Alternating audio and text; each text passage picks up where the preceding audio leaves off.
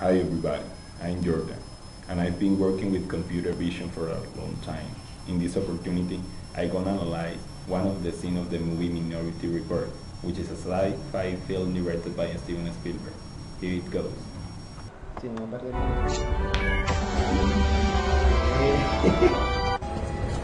Hello, Mr. Yakamoto. Welcome back to the Gap.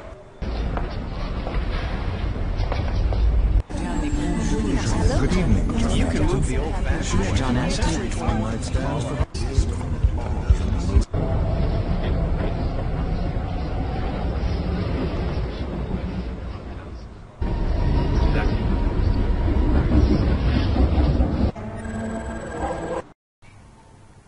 During the scene, the main character is being recognized by a group of cameras that using biometrical personal identification based on iris patterns.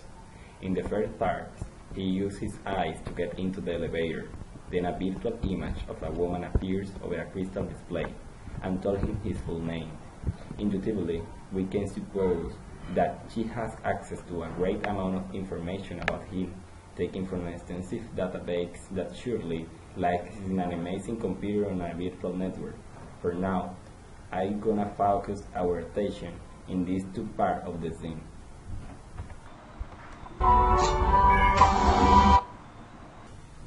Well, the field doesn't explain the approach using the personal identification, but I tell you where it is possible.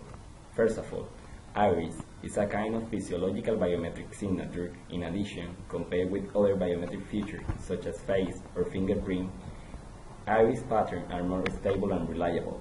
It is unique to each person and stable with age. Furthermore, iris recognition system can be non-invasive to the user. In other words, don't require contact with them.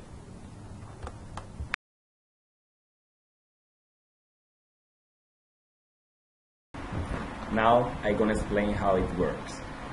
The first step of this system is the iris image acquisition, which is the most important and difficult step of the process.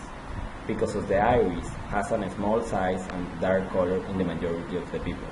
So it's necessary to create an appropriate device for its iris image acquisition, which can display a high quality image.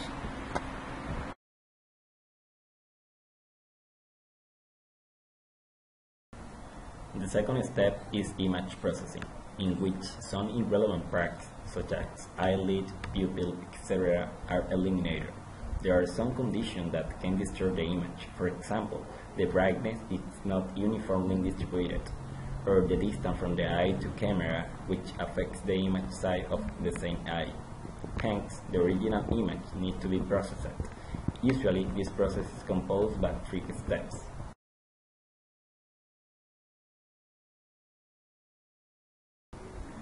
Iris localization.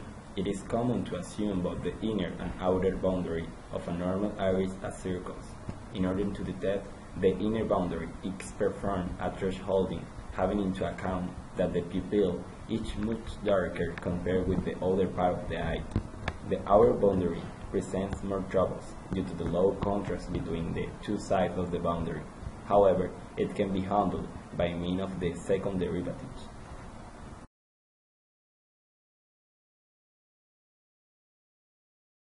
The second step is iris normalization.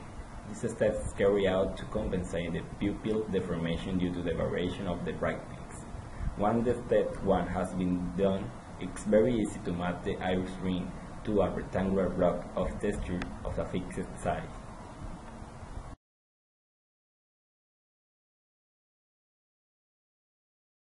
The final step of the image processing is the enhancement. The image can be enhanced by means of local histogram equalization, which increases the contrast and the dynamic range of the image.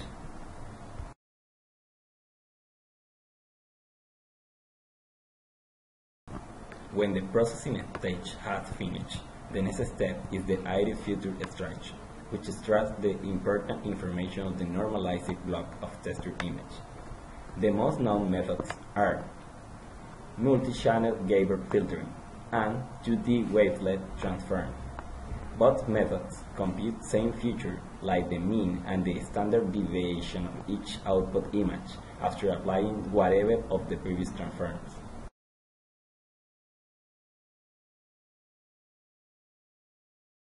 The final step is the iris identification, which compares the unknown iris with a set of known iris. So we can conclude that aside from the film represent an scenario in 2054, in nowadays there are many technological tools to implement this caption and identification system. So there is a mixture of fiction and fun in this movie.